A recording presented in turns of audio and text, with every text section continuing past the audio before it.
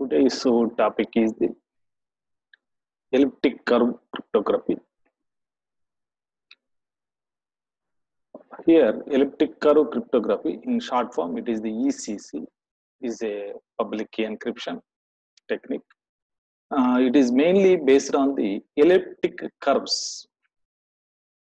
For example, this is the elliptic curve. This algorithm is mainly based on the elliptic curves like this. This type of curves are called elliptic curves.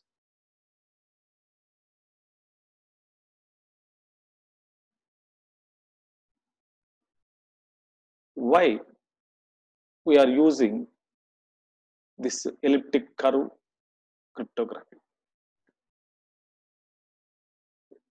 Generally, the other cryptographies, asymmetric uh, cryptographies, uh, we are using the more key size. That means whatever the key we are using for the encryption and decryption, its a key value, its a key size is more or very large. But here, in the case of the ECC,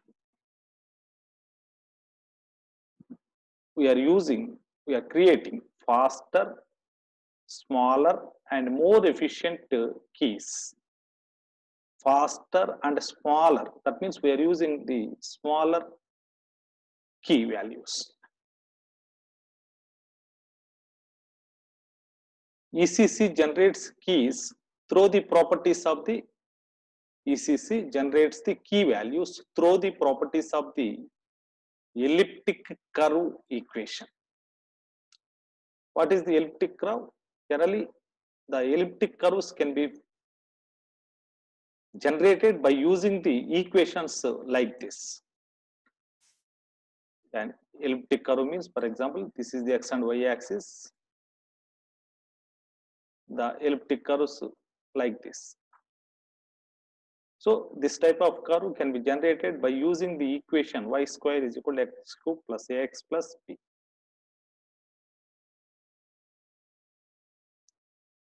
So ECC generates the keys through the properties of the elliptic curve equation instead of the traditional method of generation as the product of very large prime numbers. So here instead of using the product of very large prime numbers, here we are using the key values based on the elliptic key curve.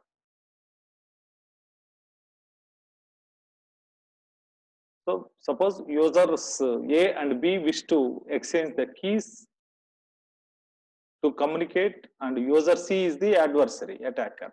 It is an approach to public key cryptography based on the elliptic curves. Mainly ECC algorithm is faster than all public key algorithms. This is the because because in the case of the ECC uh, we are using smaller bit size key value. If you use the very large key value uh, its encryption is very secure. In the case of the ECC even though if you are using the smaller size key value uh, it provides the same security. That's why this is the faster. So the elliptic key, elliptic curve cryptography algorithm is like this. Generally, we are using the some global variables, global elements, EQ, AB. This is the elliptic curve parameter. A and B are the the coefficients in the equation. Y square is equal to x cube plus ax plus b. That that is the a and b values. And q is a prime number. Q is a prime number. And g is a point on the elliptic curve. What is the g? G is the it is any point on the curve. So these are the global elements. Then Alice and Bob, assume these two are the sender and receivers. Alice select one private key that is NA and calculates his public key PA using this formula. So he has the private key and he has the public key. This public key is uh, shared with the Bob. Bob also selects his own private key NB and uh, calculates his uh, public key and share this public key with the Alice. So now Alice has his uh, or Alice contains um, her private key. That private key known by her only, but uh, she will uh, share her public key to Bob. Bob also he kept his private key with her and uh, shared her private key with the Alice. So now by sharing these two public keys, Alice generates or uh, calculates a public key. Bob also calculates the key value. It is a secret key value.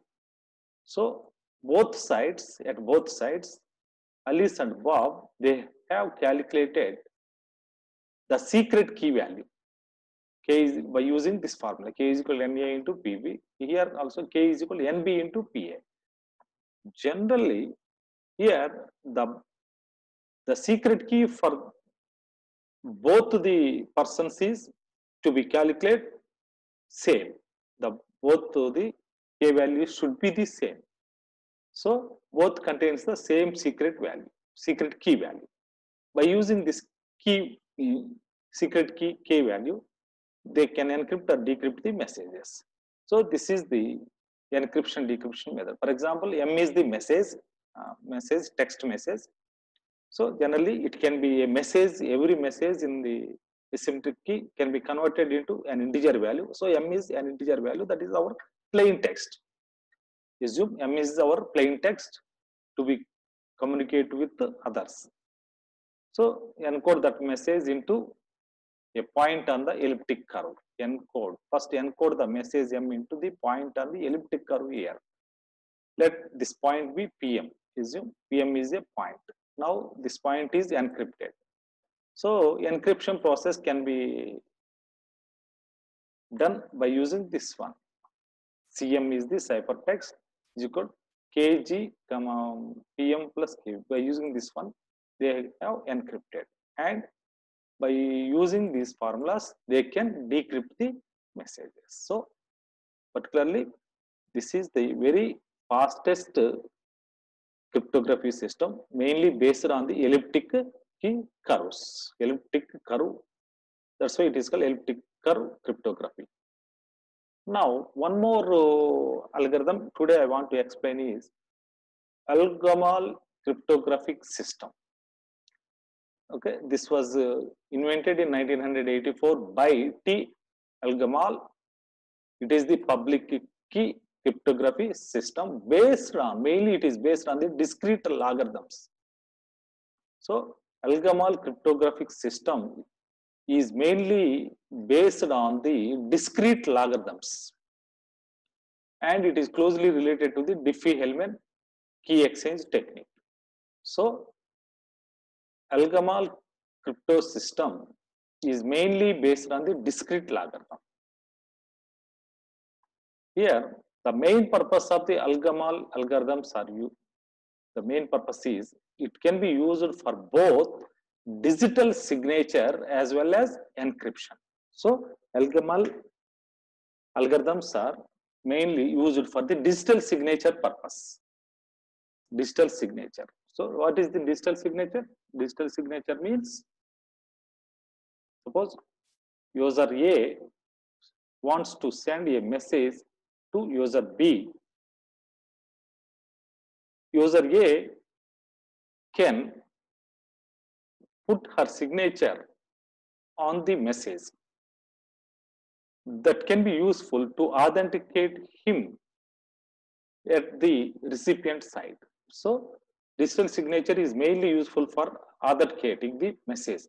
That means that message from where this message came to identify the authorized sender to identify who, who sent this message that can be identified by the digital signature. So ElGamal crypto system mainly used for digital signature as well encryption. So this is the main advantage of the ElGamal crypto system. So ElGamal crypto system mainly used for the digital signature. It uses the discrete logarithms. Now these are the steps for the key generation and uh, encryption decryption. First, we can take two global variables. Q is a prime number and A, it is the primitive root. A is assumed as the primitive root of the Q. Q is the prime number and A is the primitive root. Then Alice, the key generation by the Alice. So she first selects her private key, any one of the private key, assumed this is the XA. XA is a number, it should be less than Q minus 1, should be less than Q minus 1. So it is one of the number. This is the XA is the private key of Alice. That means this number is known by her only. So she, she kept her own uh, private key with her. Nobody, this is uh, not disclosed to anyone. Then she has calculated her public key, that is YA. XA is private key and YA is Alice pub, public key using this formula. So YA means public key of Alice, YA is equal a power, A means primitive root, A power, this XA, mod Q.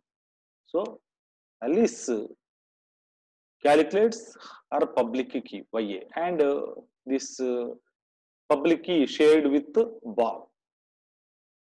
Public key can be shared with the Bob. So, YA value can be shared with Bob. That's why here the public key is not only the YA, it is the combination of Alice public key is combination of the Q value. Q is the uh, that is the prime number. A is the primitive root of the prime number. YA is her public key value. So these three elements together is called the pair or set of the public key values. These public key values are sent to the Bob. Then XA is the private key. This uh, key value kept with only Alice. Now, how the encryption done by the Bob with the Alice public key. Here, Alice, the Bob can encrypt some message, any message, the Bob actually assume here, Bob want to send some message to Alice. That's why uh, Bob can encrypt his message with the Alice public key. Alice public key. So uh, assume plain text is M, plain text. This is the text uh, the Bob wants to send. So plain text is M. Now Bob selects one integer value that is the random integer value so that is small k then he calculated a secret key value k is equal by using ya means Alice public, public key power this small k mod q. Then Bob performs two encryptions. First ciphertext 1 is equal to a power k mod q. This is the first ciphertext Again, he calculates uh, the second ciphertext using C2 is equal km. This is the k value and m is the plain text mod q. So Bob has uh, Bob has encrypted this uh, plain text m into two ciphertexts C1 and C2. So here what Bob has done, Bob has converted the plain text M into two ciphertexts C1 and C2. That plain text M is converted into two ciphertexts C1 into C2 by using these formulas. Now, Bob sends his uh, message to Alice. Now, decryption by Alice. Alice received two ciphertexts C1 and C2 and uh, first he calculates a secret key using this formula. C1 means this is ciphertext C1 into C1 whole power XA. So XA means C1 into XA is the private key of Alice. So already Alice has one private key. So using her private key, she has calculated a key value. K is equal to a secret key value K is equal to C1 into XA uh, C1 whole power XA mod Q. That means this key is K value, secret key value is calculated by using Alice private key. So this K value can be calculated by using the Alice private key. Since this uh, K value is calculated using the Alice private key, that means this ciphertext is this ciphertext is related to the Alice, which is uh, encrypted with the Alice public key. So actually, Bob is uh, this Bob encrypted the message using the using the Alice public key. That's why that message by using that ciphertext, she has calculated some k value. Then by using this k value and C2 using this formula, she has decrypted the and that means she has converted the, the ciphertext into plain text. So here Bob is sending Bob sends a message to Alice Alice by using by using uh, Alice public key. Bob encrypts the message, encrypts the message using Alice, that means YA, Alice public key. So here Alice received a message from the Bob and that was uh, decrypted by using Alice private key. That means a message which is decrypted by Alice private key means Alice private key means that message is related to the Alice only that was uh, sent by Bob only because uh, Alice only shared her public key to Bob. That's why this message is received by the received uh, received by Alice from Bob. So this is the digital signature. See the example. Now, GF field 90 means there are uh, prime number prime number is q 19 q is equal 19 it has this prime number 19 has these uh, six uh, primitive roots. 2 3 10 13 14 5 these are the primitive roots in gf19 set.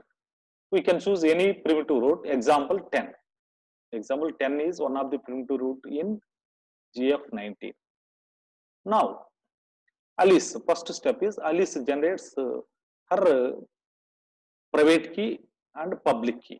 Assume alice chooses one of the number private key xa is equal to 5 that means this uh, alice private key its value num value 5 is known by alice only.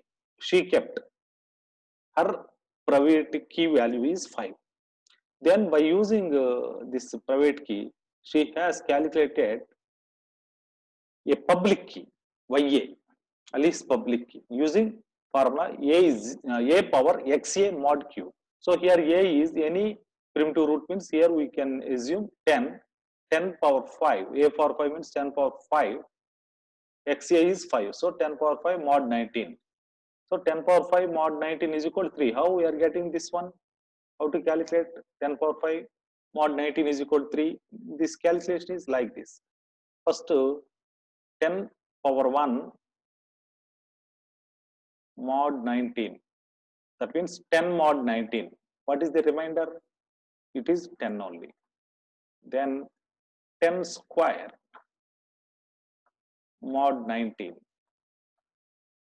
10 square mod 19 10 square means 100 100 mod 19 means 19 5 is uh, 95 the remainder is 5 then 10 to the power of 4 is equal uh, 10 square whole square. 10 square whole square means 5 square. That is 25 25 mod 19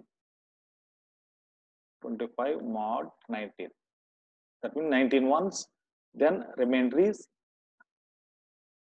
remainder is 19 mm, what is uh, 10 square?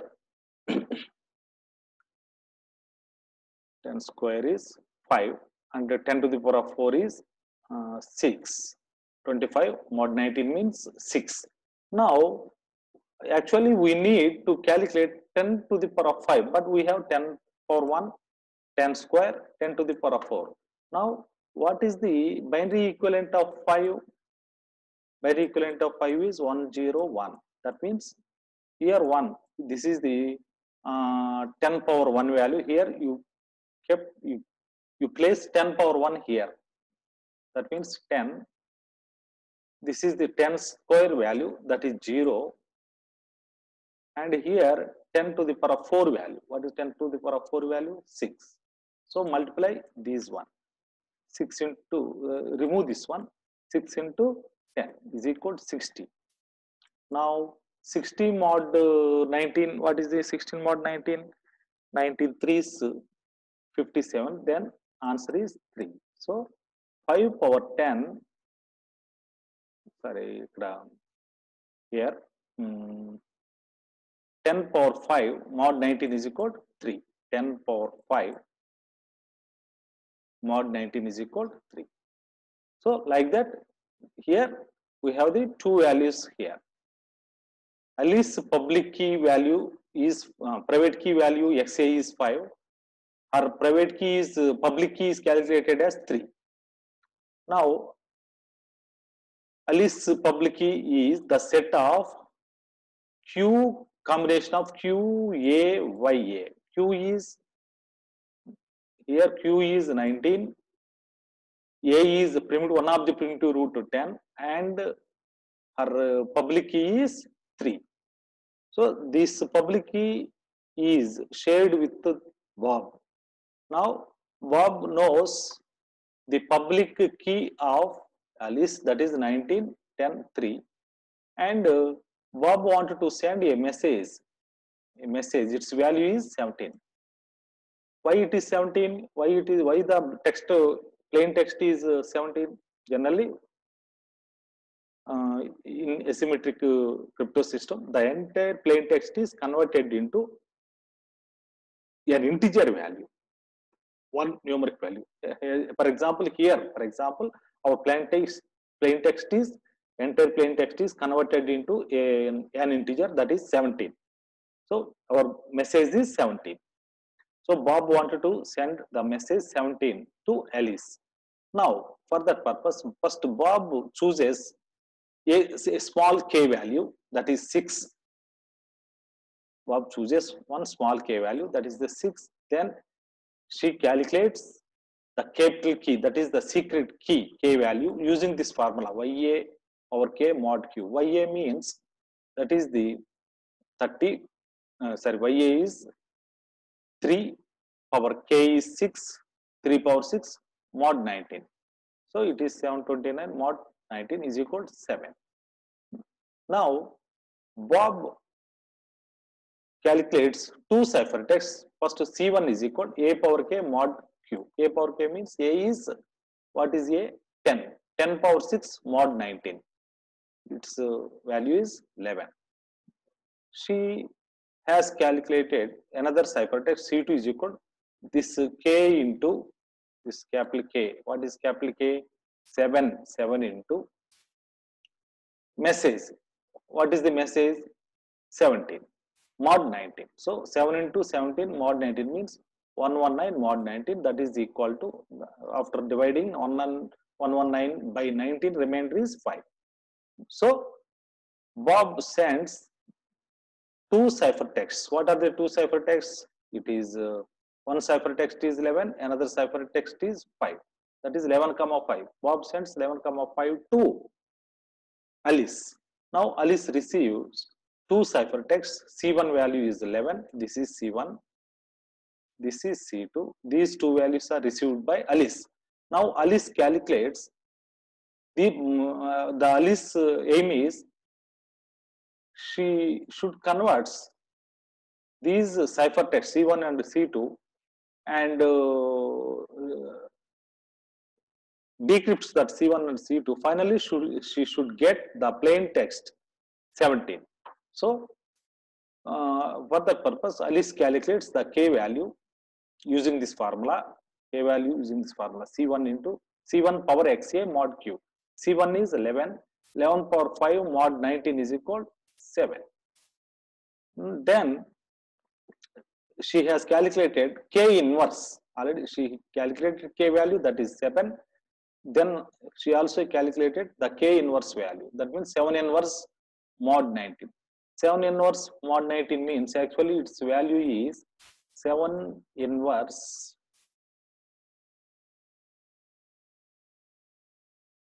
mod 19 means since this is the prime 7 inverse means 19 means 7 power 19 minus 2 that means 7 power 17 mod 19 so after calculating this 7 power 7 after dividing 19 uh, 7 power 17 by 19 the remainder will be the remainder will be 11 so 7 inverse value is 11 now finally Alice calculated the plain text using C2 into K inverse value. What is C2 value? Already C2 value is 5. 5 into K inverse value is 11 is equal to 55. 55 mod 19 means 19 uh, 3s 19 3s 57 19 3s not 3s 19 2s 38 38 then remainder is 58 minus 38 is 17. So finally, we have calculated the, Alice calculated the plain text. She got the plain text 17, which was sent by the Bob. This is the, this is the 17, received by the, Bob sends the message 17 after decrypting it uh, with some ciphertext, ciphertext 11 and 5. Actually, Bob, actually Bob wants to send 17 but this uh, message is converted into 11 comma 5 to ciphertext this ciphertext is 11 comma 5 is received by alice after decrypting she has converted this 11 comma 5 into 17 so like this the message is encrypted and decrypted so this is the ElGamal crypto system. So ElGamal crypto system means it uses the discrete logarithms. Mainly it is used for digital signature as well as encryption.